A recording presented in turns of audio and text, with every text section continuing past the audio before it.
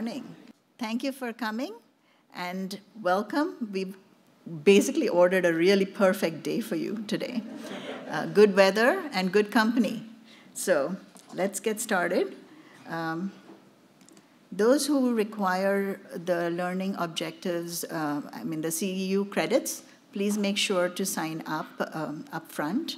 Uh, there is a sign-up sheet, and make sure that you get in your times um, when you get in, as well as clock it out at the end of the day. The list will be available at the reception, so make sure you do put that in so that you get your credits. Are the learning objectives.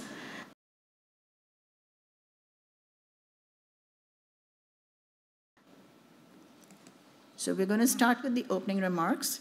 We have Naomi Miroglio, who is a principal with uh, Architectural Resources Group and is going to represent California Preservation Foundation today for us. She's a board member over there. She has designed numerous award-winning projects, and it includes um, several projects at uh, the Culinary Institute at Greystone.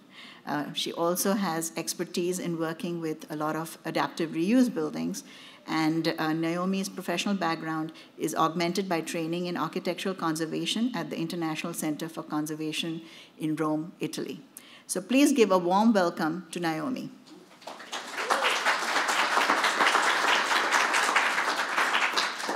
Thank you, Sapna, and welcome. Um, it's a pleasure to be here this morning. And uh, on behalf of the California Preservation Foundation, um, better known as CPF, um, we really appreciate the chance to kind of kick off this day. I know there's been a lot of uh, time and effort and years of uh, waiting for an actual in person uh, opportunity. So um, happy to kick this off and to really, it's a day to showcase all of the great work that uh, has been done here at Stanford University over many, many years, and also to celebrate um, the artisans and craftspeople who have uh, collaborated on that work. So um, it's going to be it's going to be a great day.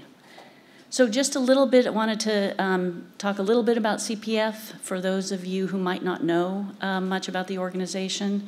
We are a statewide organization and we advocate for um, preservation of the uh, cultural history, diverse cultural history of California and the places that make it special, the historic properties. And we do that, oh, hold on. And we do that three main ways. Number one being advocacy. We are in the halls of uh, legislature in Sacramento and uh, in Washington, D.C., uh, working on initiatives and legislation that affect um, historic preservation. And most recently, here in California, we were successful in um, obtaining the state historic tax credit, soon to be um, live for applications, but we're now the 37th state that offers that uh, incentive, uh, monetary incentive for preservation. Um, secondly, uh, we have a robust educational program, and this is really the cornerstone of CPF, sharing best practices, professional knowledge, and innovations across webinars, um, primarily webinars over the last two years, but also just getting back into workshops and uh, seminars, and then an annual conference which is in June this year, that will be a hybrid um, situation. Uh, so, an annual conference uh, kind of caps off the educational programs. And then we also like to celebrate uh, successful projects and um, recognize the professionals that work so hard throughout the state. And so, through the Preservation uh, Design Awards, we recognize those efforts. And so while we were um, recognizing those efforts, uh, we wanted to really highlight the um, just the long-standing relationship that CPF has had with Stanford University. And as you can see here, numerous projects over the last 32 years have been recognized for excellence. Uh, beginning in 1990 with my personal favorite, the Stanford Stone Study. Um, I was involved in that project, kind of fresh back from the Rome program.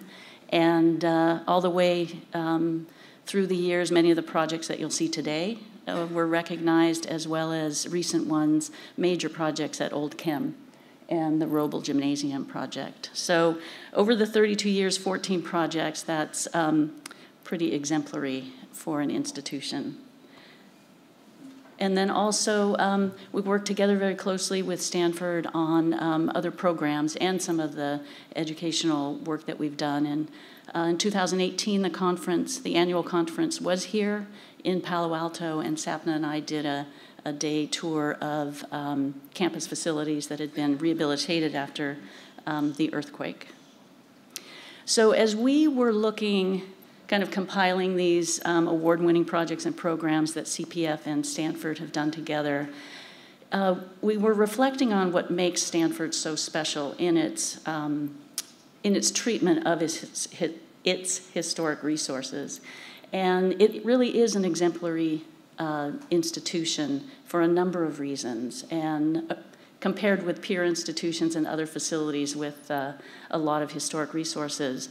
And standing out among those attributes, number one, is just the stewardship and uh, this commitment uh, and the value that's placed on being caretakers of a legacy. And it's collective, it's not any single person.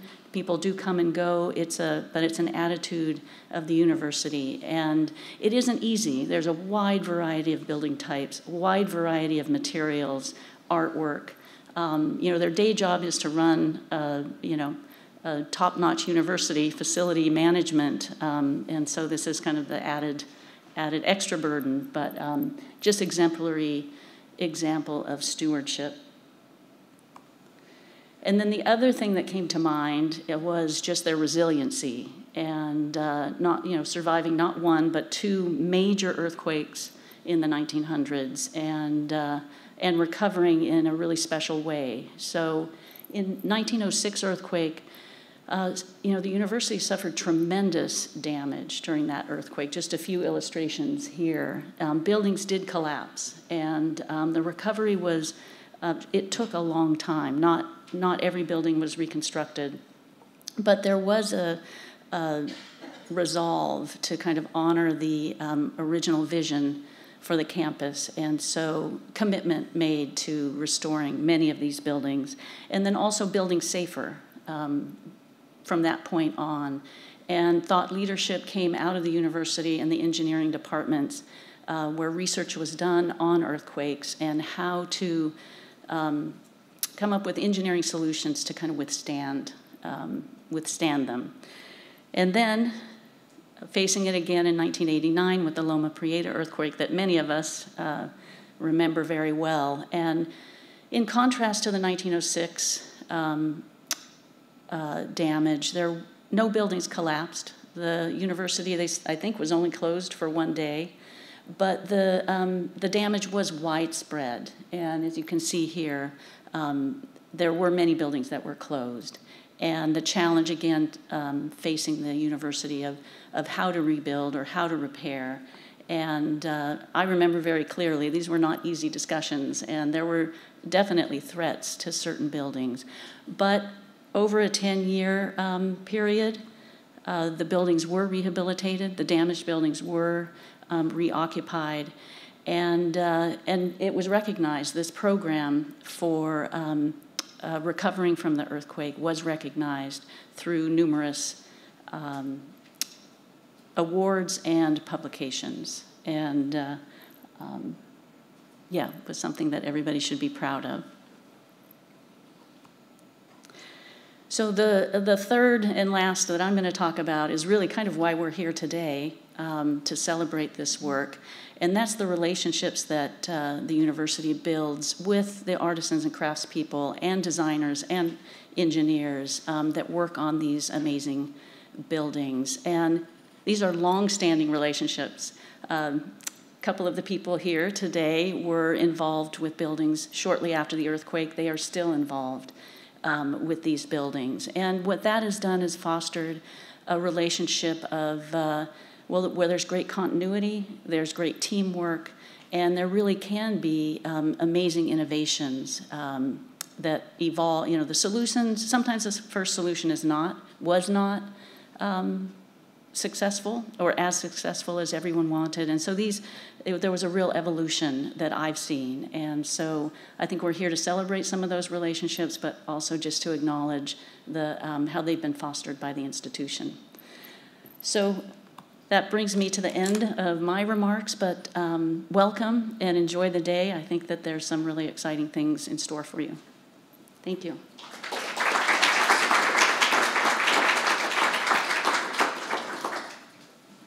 I'm going to do the overview connecting the past, present, and future and introduce you all to the artisans that you all are going to meet this afternoon during the workshops. It's my great privilege to stand in front of you and talk on behalf of the hundreds and thousands of people, or hundreds and thousands of hands, I want to say specifically, who have helped shape this university and helped steward this, um, this vision uh, for the uh, legacy that was left behind by the founders, Jane and Leland Stanford. Um, I'm humbled by the talent, love, pure dedication, and deep commitment that each has brought to Stanford. And you will see throughout that um, some of these relationships have lasted from the time of the uh, inception of the university, and we continue today to keep that relationship going. So, to keep the discussion very focused, I have picked these five images to assist me in telling the provocative story of five types of building art that were going through a major transformation during this period in American history. Uh, during the presentation, we will pause at each image and examine it closely. I will focus on answering two primary questions. What is innovative about that art, and why do we need to preserve it? The afternoon workshops will take this examination further and explain in depth how we continue to preserve this art. Not any less innovative, you will see. So, starting with Memorial Church and the mosaic art. The first image. So, what do we see over here? Let's just describe it briefly. There are six men at each table with small square paintings in front of them and a few trays of colored stone. The studio is actually in Venice, and Salviati Mosaicists are the people that you are seeing. They, what you're seeing over here is a pioneering backing method that was developed by Sal, uh, Salviati during this period in history. And what is important to see is that prior to this time, this image would have been very different. If you were during a Byzantine time seeing Mosaicists work, they would all have been standing on scaffolding, putting the you know, pieces of stone onto the facade. Instead, what you're seeing over here is these mosaics are actually sitting in a workshop environment.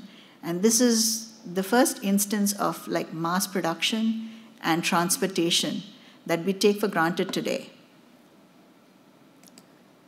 So zooming into the picture, here is one. You can see the little backing square in front, and he's taking individual pieces of glass. So tesserae or tessera, singular plural, is actually a piece of, two pieces of glass with a gold leaf in, in the middle, which is compressed in under heat, and that's what makes the, the little stone piece. And you will see some examples of this. But the, the image on the left and the right shows it's 50 years apart. It was a, uh, somebody walking through uh, Venice and came upon the Salviati studio and found that all this work that has been going on at Salviati was also prevalent 50 years ago when they were working at Stanford, um, right at the inception of Stanford, creating these big mosaic pieces that you will see. Um, and, and it was mostly because of this uh, innovative trans, uh, you know, square pieces that they could actually transport across the whole world and promote this art across the world.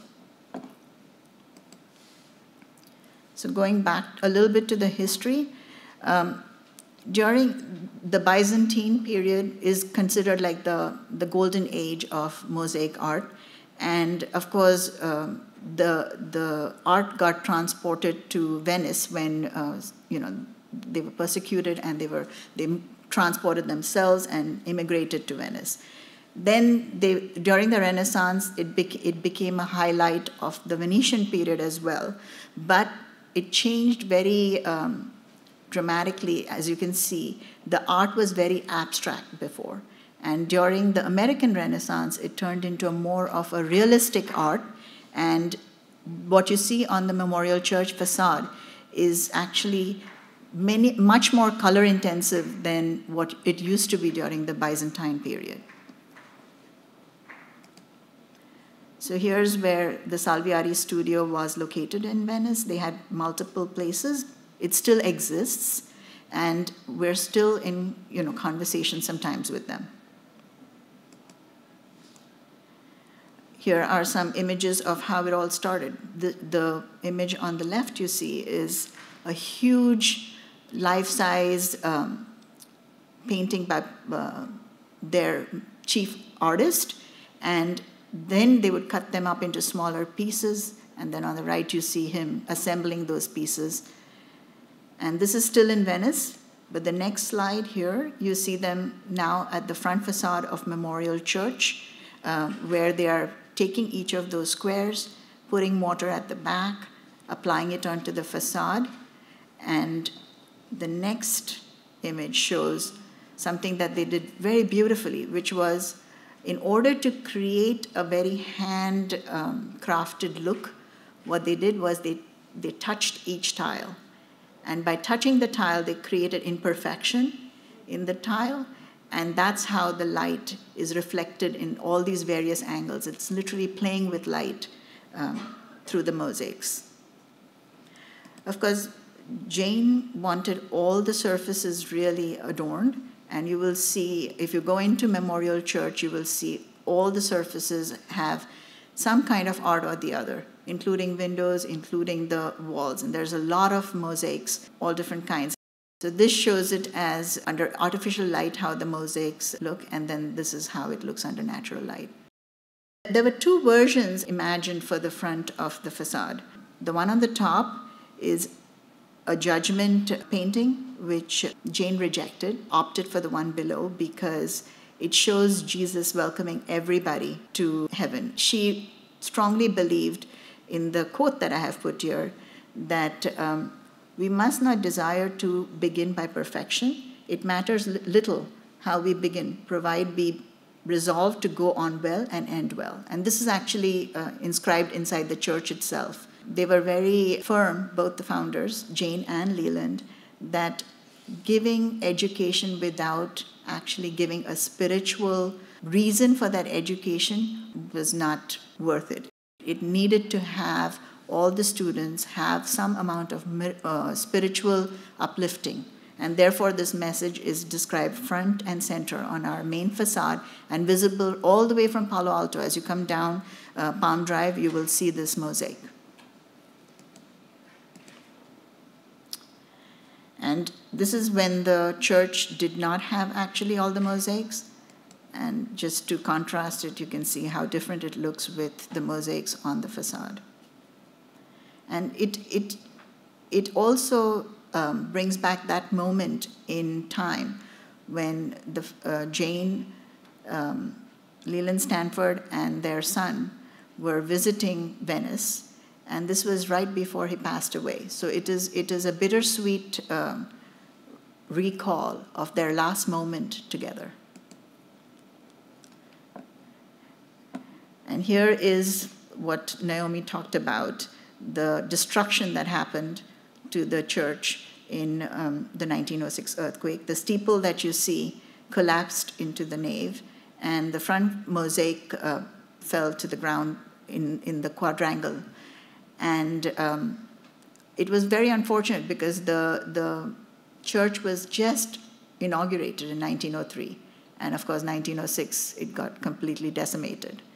Um, but thanks to Salviati saving all the original uh, paintings and uh, drawings and everything, the mosaics were recreated, and it took 12 men two years, twice, to recreate this 30 foot um, tall and 84 feet wide uh, mosaic art.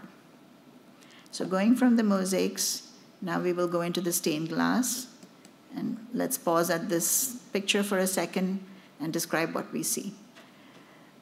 So what you see over here are two pieces of glass in uh, Mary's hands. Mary is our conservator from New York. This is in her studio in New York.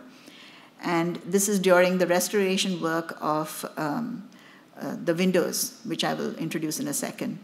But they, what, what you see over here is something very interesting and different than what used to happen prior to this uh, time, in, again, history. Um, they, there are two pieces of glass. One is transparent. It has sharp um, details. Uh, it's in her right hand, as you can see. And uh, the one in her left hand is just showing, is, is an opalescent glass, and it is just showing facial um, uh, colors and tones. The way it works is when you put these two pieces of glass together, it creates this three dimensional effect. And we are going to talk a little bit about it. This was a renaissance moment in American stained glass um, windows. And there were many um, artists working on this, and we have the largest collection of Frederick Lamb's uh, windows at the church. So, to go back and understand what was so different about these stained glass, if you think of stained glass, you think of Gothic cathedrals and these, you know, massive sheets of uh, stained glass, which serve as um, storyboards describing, you know, different. Uh, episodes from the Bible. And they're not really windows. They're called stained glass windows, but they're not really windows because you can't look out through them. They are they're window walls, and um, they equated light to divinity, and therefore uh, the way the light penetrates through this, so it's actually transmitted light, unlike the mosaics, which is reflected light. This is transmitted light, and when you see this light. Um, it kind of created this magical effect within the, the, the church and a special um, place for God to understand God. And in contrast to this, if you see memorial churches' uh, windows and windows of this period, were a lot more realistic. Again, it is it is very um, it it is as you can see they, they have created almost a mural with glass using glass as the medium. So to understand that a little better, you can, this is some picture at Sagrada Familia, to uh, explain how when light transmits through colored glass, it gives this specific colored light that comes, emits through it. Frederick Lamb um, used the glass very differently. He used it as a way a painter would uh, use paint. He just used the glass and light as a way to combine colors and create the special effect. Here are some images of his studio um, where he's sketching, glass cutting. Um, here is, you know, him trying to pass it through the furnace so that the, the vitreous uh, enamel that is placed on the uh, clear glass actually fuses with the glass. And um, some more shots of his workshop. And this is a famous window again in his, this, this workshop is actually in New York, um, in Greenwich area. And um, you can see him working with each of the pieces of, you know, either creating the hand or, and it's always done with the, the window backlit. Now, we worked on three windows um, at Memorial Church, um, and it was a mind blowing experience for me because when these windows were put apart, I did not, before this moment, I did not understand how complex they are. They're very, very complex pieces, and it takes about a year to restore them. Now, each of these is actually an interpretation of a painting. Um, and um, the Annunciation, the Flight into Egypt, and the Home in Nazareth are the original paintings, and you can see how Frederick Lamb interpreted these paintings into glass. Now, the, the center one, the flight into Egypt, I have just for the sake of understanding put all the three versions of this uh, window. The, I'm going to take the laser pointer. This one shows the window lit with natural light from behind. This is when there is no uh, light, you're just seeing it in plain light. And then here is the backing of it. So each window has like a three version um, approach to it. And it looks very different backlit versus when it is just you, you stand outside and look at it. And that's mainly because of the technique he used, where you see the glass uh, very differently and the facial features very differently. Okay. So the next I'm going to do is the um, sandstone at the main quadrangle, and you're going to meet the stone artist when you uh, when you actually um, to do the tour. But I'm going to just do a brief introduction for that, and for that I'm going to use this image. Um, this when you see this stone face, and it is located in the Memorial Court at Stanford. Um, it is dedic- the, the plaque is dedicated to the volunteers who fought in the Spanish-American War.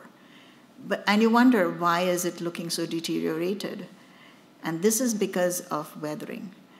And I'm going to explain what, what, what I mean by weathering over here. So, sandstone has a very interesting relationship with water. Sandstone, if you know, is created by water. It takes millions of years to create sandstone. And it's ma mainly because of the stone being eroded, which you see over here. This is called tafoni, where the stone is basically eroding um, naturally because of air and water uh, interaction with the sandstone. And it disintegrates the sandstone, transports it, which is actually called erosion, so the difference between weathering and erosion is weathering is where it breaks down, erosion is where it's actually moving to a different location. And some of the most beautiful sculptures um, in the world are naturally created by wind and water. Um, and it takes, like I said, millions of years. So Stanford's sandstone started off sometime in the Eocene era, that is about 55 million years ago. And at that point in time, the landscape must have been very different. Sandstone, uh, I mean, Stanford must have been probably um, submerged, and we would have had to get to Stanford by a submarine, probably. and um, why do we know this? Is because we see these fossilized remains of um, the snail which, which is evident in our sandstone, and we know the, the exact locations of it. And this was a water snail, so we know that it is from this era. That's how they date it. Um, eventually, of course, the tectonic uh, movements happened, and the, the um, Santa Cruz Mountains were formed. And um, we have our um, quarry um, in, in San Jose. And now this quarry doesn't actually exist anymore. Um, it's shut down, and so we have very limited sandstone um, on campus, and we treat it really preciously because it is not, um, as you know, it takes 55 million years to produce it. Um, so it's not, it's a very um, rare commodity, and we use it very judiciously when we are doing repairs. But here I just wanted to show you all the location of the um, quarry. Of course, now it's become very residential in that area, and you can see the black and white pictures how it used to look before. Um, I have some more images showing the original stonemasons working on the sandstone. We have rusticated um, stone facades, and then uh, very judiciously, uh, certain areas have been embellished with um, carvings. And as legend goes, um, Jane Stanford was very, very involved with these um, carvings. She used to have a parasol that she would walk around with, climb onto the scaffolding. On the parasol, she had a little marking, and with that, she would measure to make sure that there was enough depth in these carvings. So she was she was a force, and um, it is, it is very um, well known too that Richardson, who is um, the Richardsonian Romanesque architecture, that's what our architecture is called at Stanford, um, he was also very um, judicious about creating these carvings. His, his whole focus was on uh, compositions which were um, you know, in relationship to each other, but he judiciously put these carvings at various locations, such as entrances, to mark them out. Um, now, Richardson is not actually the architect who designed um, our um, sandstone campus. He had passed away, so his successor firm is, is uh, who designed it, and um, J, uh, Leland Stanford had a lot of input in the design when uh, it actually got built. But we, we've, sandstone, like, you, like I said before, is, is something that, um, if not treated, it, it does perfectly fine when it doesn't interact with water. But, but human, human hand has the tendency to add water where it shouldn't. So, like when you see the right hand image, it is because of irrigation water actually hitting the sandstone and um, deteriorating. This is what I mean. It looks like almost melting um, ice cream, right? And that's exactly uh, what. And on the left hand side, you see all the uh, biological growth. This is lichen in the air that kind of loves this stone and cap, you know, settles on it and is a parasite and basically deteriorates the stone over time. And we've been working with the stonemason to do a lot of um, repairs. Here you can see some of the deteriorated columns and Dutchman improvements that you will see this afternoon.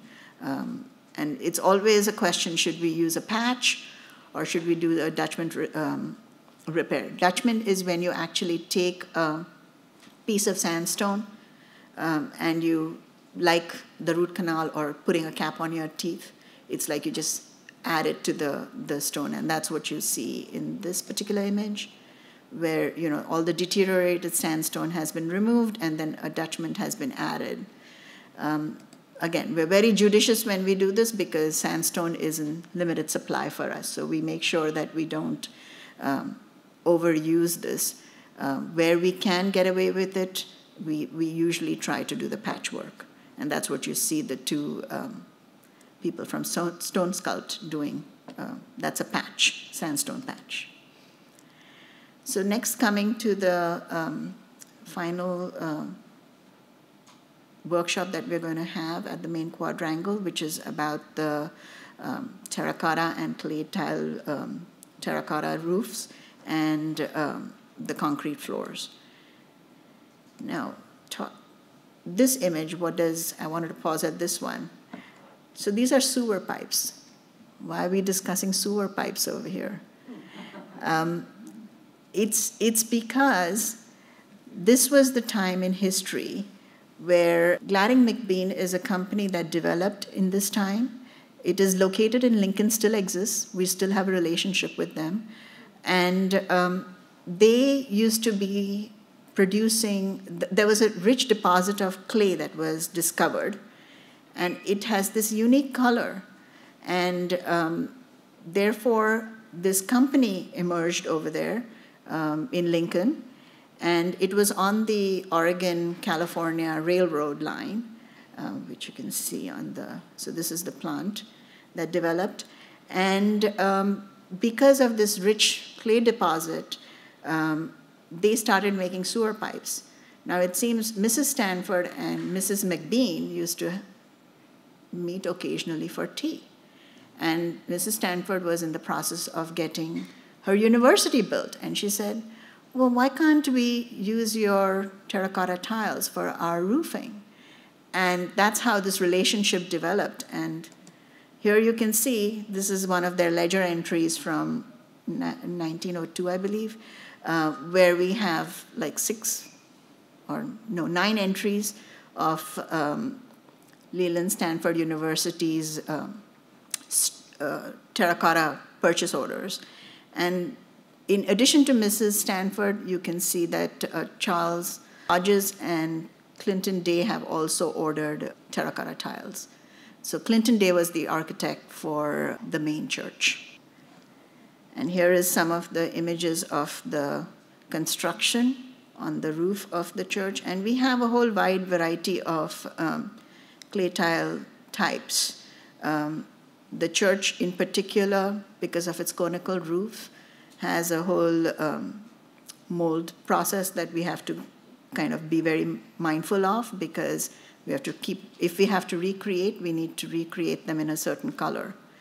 And uh, Hoover Tower, for instance, has flat tiles, and then the rest of the uh, university has what we call Spanish tiles or barrel wall tiles. And here are instances of us, you know, cleaning them. And since then, um, Gladding McBean has created this is what we call the Stanford Blend, which you see over here. And it is a particular mix that we use for all tiles. And we still, like I said, have a relationship with the company, and they still uh, deliver our tiles 125 years later. And then the last one I have for us is this dual tone artificial stone. And this is the image. So the image on the left is actually in Venice and again San Marco. And what you see over here is the um, flooring over there, of course, in Italian marble. What we have tried to do on the right hand side at Memorial, I mean, at the main quad, is in concrete. But I think, again, when the, when the founders were originally trying to recreate that, that last time in Venice together, this might have influenced. It's a conjecture, but it might have influenced why the colors are the way they are. And the person who laid most of our um, concrete floors is um, a gentleman by the name George Goodman. And he was actually responsible for not only laying the Stanford uh, concrete floors, but he was one of the main people who laid a lot of the paving across Oakland, across San Francisco, he, he got really rich doing all this paving work. And I believe in Oakland as well as in San Francisco, there are many stamps of George Goodman because he was he had a patent that he um, developed, um, and it was in, innovative at this point in time.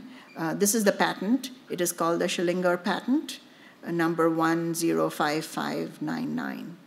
And what it was is, and you can't see it very clearly, but there are little specks that you see over here at the top of this um, paving cross section. Uh, what he developed was a tar paper separation between the, the paving pieces. And by creating that separation, what he claimed, and it is true because we, we do take off each tile sometimes, is that that separation enabled, if one tile was broken, you could easily remove it without affecting all the other tiles. And this was the patent that he created. Now, of course, at this point in time when we do this, it is pretty ordinary, you know, it's, we do this all the time. It is not a new thing. But he, at that time, you can imagine 100 years ago, where he was um, developing this. And it actually turned into a fight um, um, later on because it was used without his permission, and he didn't. So there is a big case at this point in time, and Olmsted was also um, specking this particular um, mechanism of putting floorings together, um, and they were all dragged into this case. Here are some newspaper articles of, you know, singing his praises about how good he was in terms of um, all the work he has done and how professionally he did it. And we've, of course, since then had a lot of uh, cracking. Some of it is, again, man made because we would run huge equipment over these. these paving materials which were not meant to and of course i don't blame them half the quad fell down so it's possible that you know they were they were trying to um, resurrect the quad you know at that point in time not using the best uh, protection techniques. We've gotten very smart since then. We put lay down plywood everywhere where we, we start work. Um, and we've been systematically actually uh, repairing this.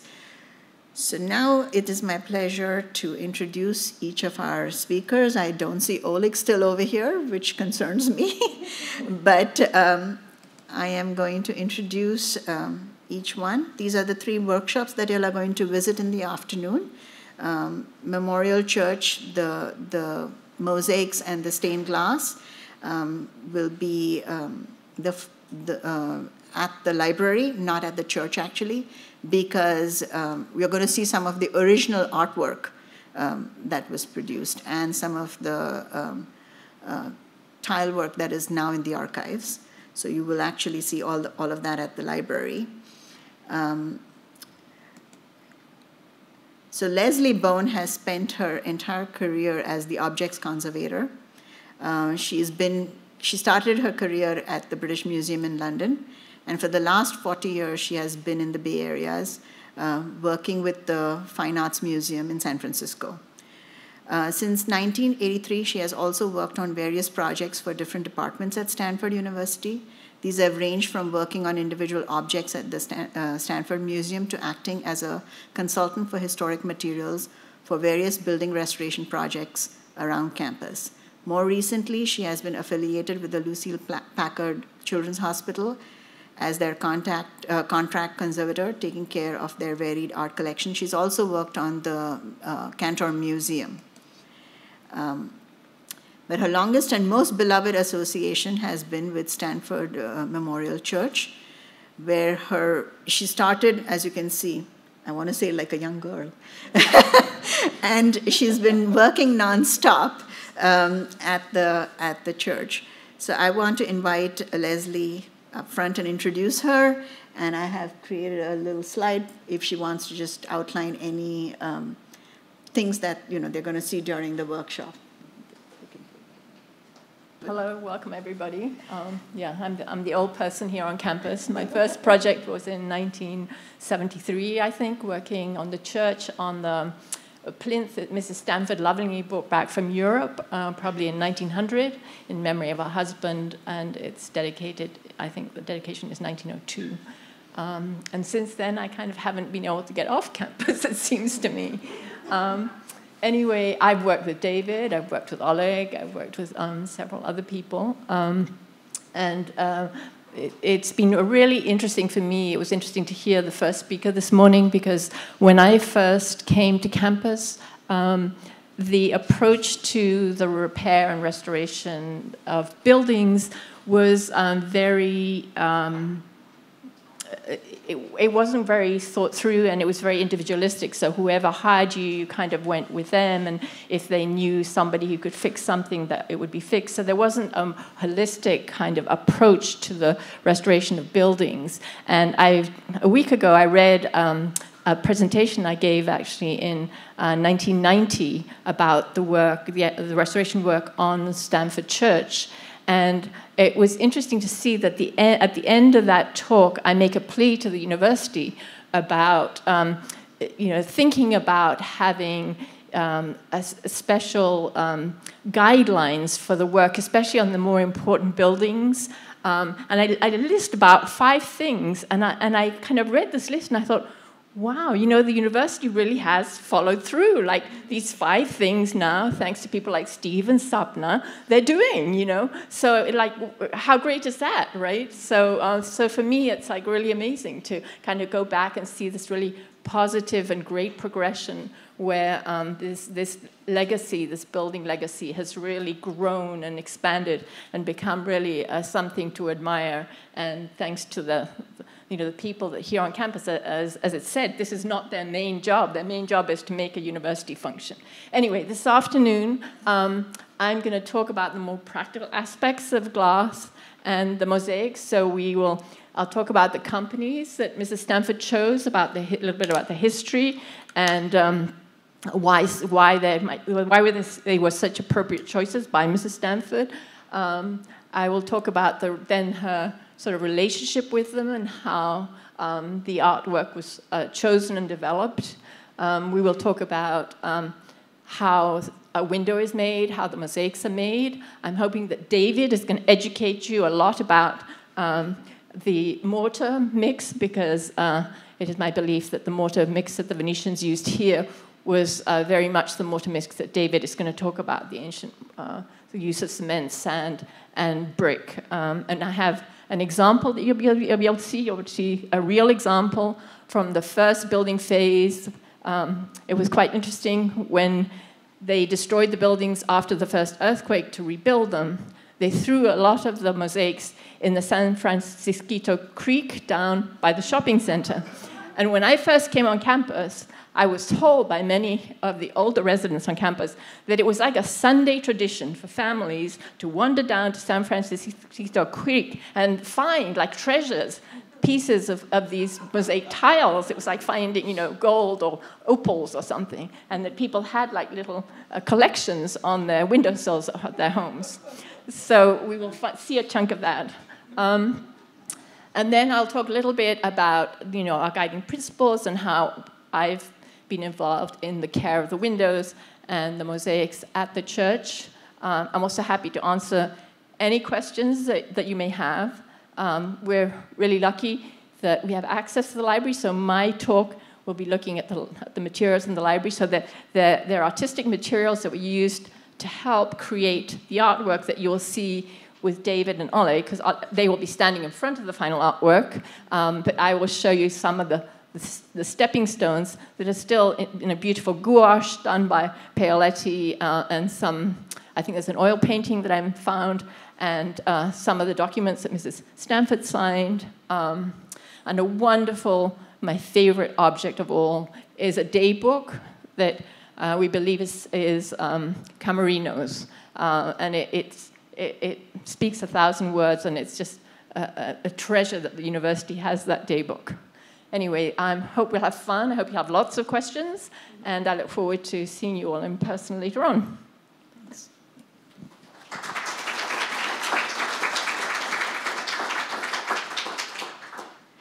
Now, the next person I was going to introduce, Oleg, he's missing in action, looks like. He's, he's solving a problem at his station. Okay. Um, well, Oleg is one, you know, who work, talks through his chisel, so if you don't see him over here, that's okay. You're going to, you're going to see him with his chisel as soon as you um, go to the uh, front of the quad. And um, this is a photograph, actually, of his, some of his team members, but this is not a team member. This is, a, he just sent this to me because this is a common problem that we have.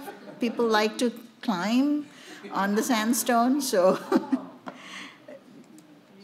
Yeah, there's a whole there's a whole tradition of students trying to do this. And then you, all will see his uh, his presentation um, this afternoon, where he will you know talk about um, the deterioration of sandstone, why it happens, um, the how how he has learned the the characteristic chisel marks of these original sandstone uh, masons, and uh, you will see how he holds the chisel. You may even get a chance to hold his chisel and, and do some of that work. Um, the next person I'm going to introduce is um, going to lead the uh, workshop on the floor and the roof. And this is David Wessel, and here he is on the side of Hoover Tower, um, coming down the, the side and repelling. We've done this together, actually. My, my the highlight of my uh, career at Stanford. And um, he's also going to talk with his team uh, about the floor work that we've been doing in multiple phases now over multiple years. So, David, why don't you come up front and Hi, everybody. You know, it's so interesting to me that we're having a conference at Stanford titled Architectural Conservation. It wasn't until 1970 at Williamsburg, Virginia, that a conference occurred that museum conservators such as Leslie and architects came together and decided to talk about buildings as cultural artifacts rather than just structures that we use for commercial or residential purposes. Out of that conference came a recognition that was that buildings needed to be preserved in the same way as museum objects. And hence the term architectural conservation was born. Now, it wasn't until the late 1980s and early 1990s that the term architectural conservation really caught on. And then at that time, we see, for instance, with ASTM standards, we see the ASTM standard referencing architects, engineers, and architectural conservators. So for me to see the fruition of architectural conservation and see a, a, conference dedicated to it is very satisfying.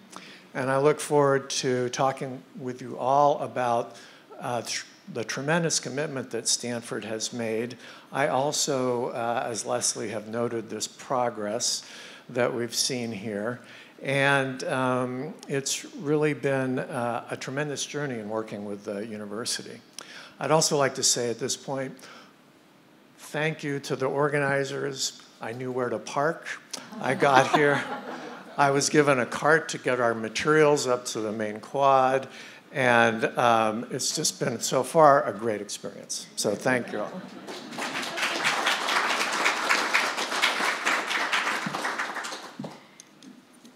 So both David and Leslie are very humble. When, when I started at Stanford, I was just thrown into the middle of the whole preservation, and I literally had, they had to hold my hand and walk me through everything.